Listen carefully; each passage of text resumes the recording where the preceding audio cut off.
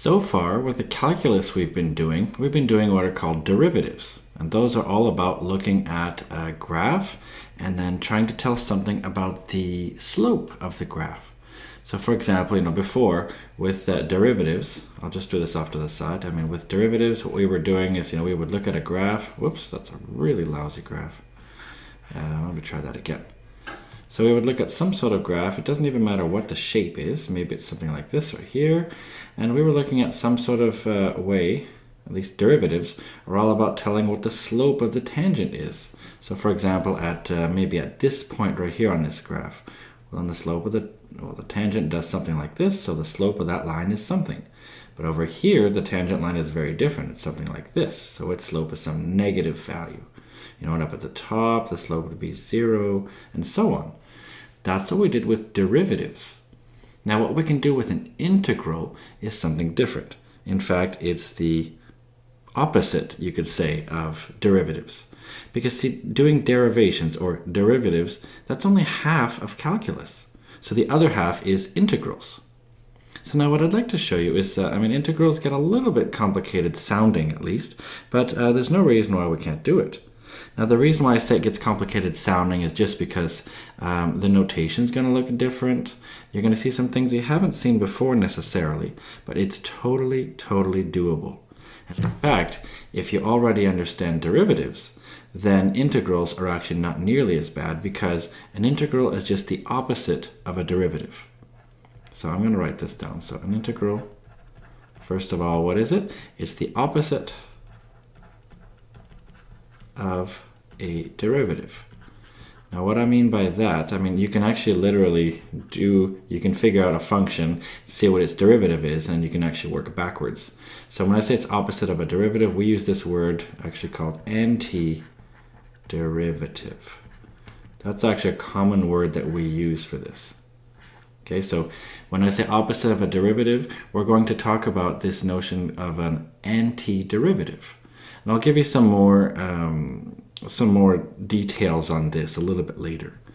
But another thing I think that's really important is this. Remember how derivatives are just, yeah, finding the slope of a tangent. Well, the integral is just about finding the area under a curve. That's what it's mainly used for.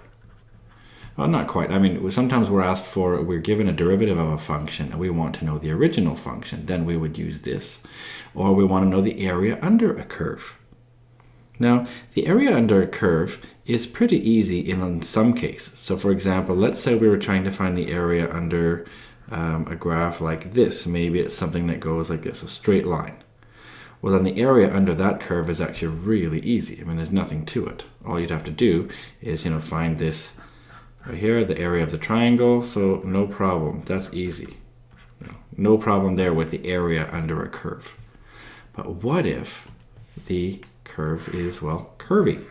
So let's say it's something that goes more like this. Um, I mean, it could be any shape now. Maybe it's, I don't know, maybe it's some sort of parabola. If it's a parabola, this maybe gets a bit more complicated. Now you could say, oh, well, I might actually break it up into different shapes. And in fact, that's a smart way to do it. You might even think, oh, you know what? I'm going to take uh, little rectangles and do it.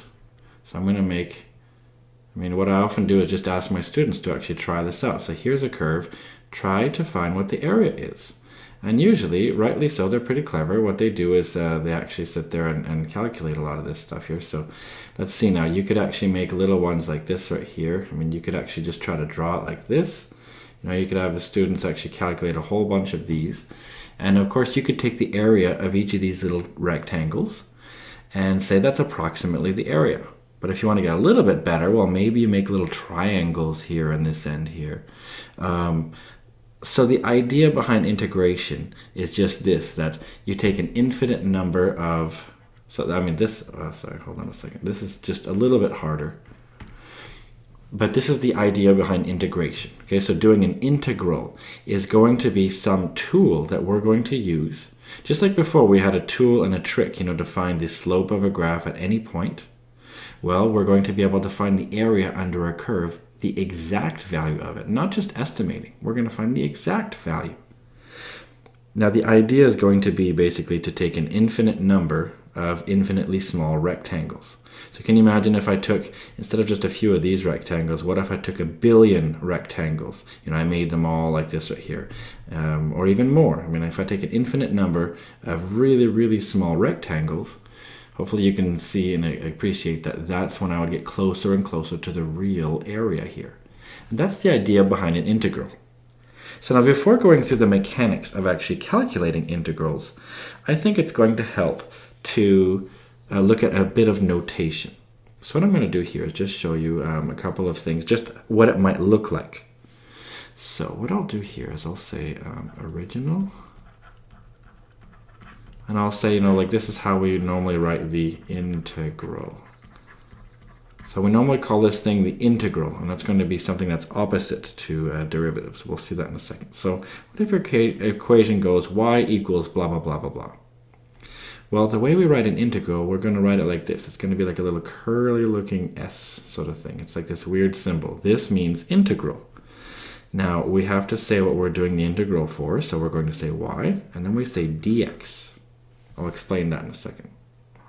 Uh, just to give you the other notation you might see, um, if you have a function, instead of just an equation, maybe it's a function, so f of x, well then the integral would be this symbol here, integral and in fact, we even call this the integral symbol. So integral of f of x dx. So if you can see here, we have some sort of trick here. What we normally do is we say the integral of some sort of, you know, whatever goes here, and we put a dx here. Now we have to put in something here. So first of all, what this integral means, it means, you know, the area under curve. Or sometimes it means the nt derivative. Okay, that's also going to be the same thing. Well, not exactly the same, but it's, it's certainly used uh, similarly. Turns out you're going to use antiderivatives to find areas under curves. So we're going to explain this. So this integral symbol here just means either take the area under the curve or you know find an antiderivative. Now this one right here, what this represents, that's the equation to look at. I wrote EQN for equation. So that's just the equation to look at. So if you start with a y, then you put in a y. If you start with an f of x, you put an f of x. Now this is a really important part, this dx. A lot of students don't think this is important, but it really is. This is the variable you are working with. And again, in, uh, in simple calculus, there's going to be no problem because we're going to be considering only you know, equations of y that are a function of x. So in that sense, I suppose this wouldn't really be needed, this dx. But again, what if you have an equation y equals, I don't know, 4z plus, you know, 3x squared plus, you know, 5q? Well, then you have to know what variable to work with. It's like when we did derivatives and we had dy dx. The dx told you to take the x derivative. Well, what this really tells you, this is like taking the x integral. So this is this is important later when you get to more complicated integrals. This becomes really a lot more important. But for right now, this is essentially how it works. This integral symbol, equation you work with, and what variable you're going to be uh, integrating with respect to. So that is what we could say we have some notation. Now, when we talk about an antiderivative, uh, that is because um, integrals and derivatives are opposites to each other. So they're opposites of each other. So I'm going to show you a little, well, we're not going to quite show everything yet, but uh, I'll show you a quick little sort of mini example here. We'll see how that works. So what if I have something like, um, what do I have this? No. Um, let's say I'm looking for something like, uh, I'll just give a little example here. So, example. Let's say I have something like y equals x squared. And then I can do the derivative. So if I want to do the derivative, it's easy. I can say dy dx. You know, that's that's doing the derivative of it. And if you remember your derivatives, this 2 is going to come in front. So it's going to become 2 times x to the power of 1. So that right there, sort of going down, Maybe I'll write in different color. So like this here. So going down, When I say down, I mean from an equation to a derivative like this. You know, that's sort of doing this. But what if we started off with something else? So what if, for example, um, so I'll write this down, so you can go the opposite way. So the idea behind this is um, you, know, you start with a derivative. So maybe you're only given the derivative and want the um, the original equation, we could say. So want the original equation. So for example, what if we started with, so what if we were given uh, something like this? So let's say you start with you know, dy dx equals 2x. And you're asked, you know, what, whoops, that's a really bad writing here. So what if you're asked, you know, what is the equation for y? That's the idea behind doing this here, okay? So what is the equation for y? So you see, we have a trick. We have a way to get from an original equation and down and do the derivative. And when I say down, I, I really imagine it always like this. There's an equation, and when you go down one step, it's derivative. Well, the way I consider this is uh, with this um, working the opposite direction is this. We start off with a derivative, and we want to go sort of back up. So how do we do that? Good, that's maybe the big question here. So how do you do that? Well, we have a trick. We have something called an antiderivative. Okay, that's the idea behind it. Okay, we have something called an antiderivative. And so this is how it goes actually. So an antiderivative goes as follows. So maybe I'll write this down again. We'll do it maybe in green here. So the way an antiderivative works is like this. So if we have a function, now the notation is going to look a bit weird here. So if we have a function f of x with uh, a derivative of, well, the general form of derivative will just be f prime of x uh, then we have something that we call an antiderivative.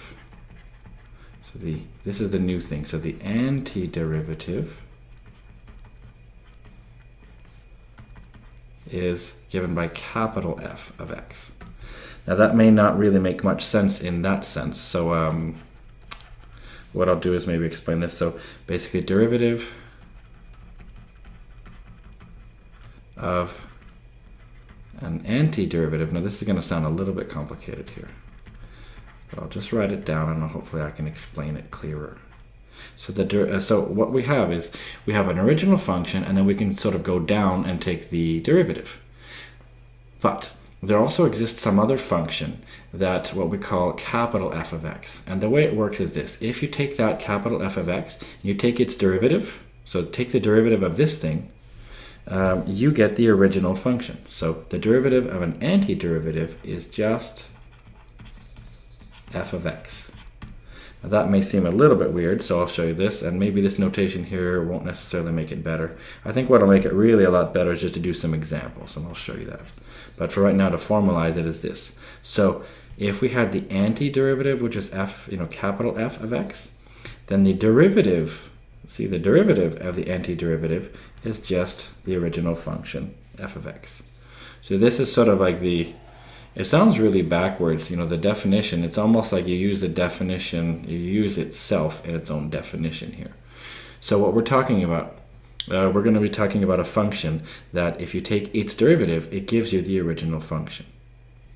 So that's why I said it's a little bit opposite because see here if we started off with an equation we want it and we know its derivative that's easy but what if we only start with an equation, we start with its derivative, and we want to know what is the original function? Well, it turns out something called an antiderivative, in other words, if you could find an antiderivative, the derivative of it is going to be the original function.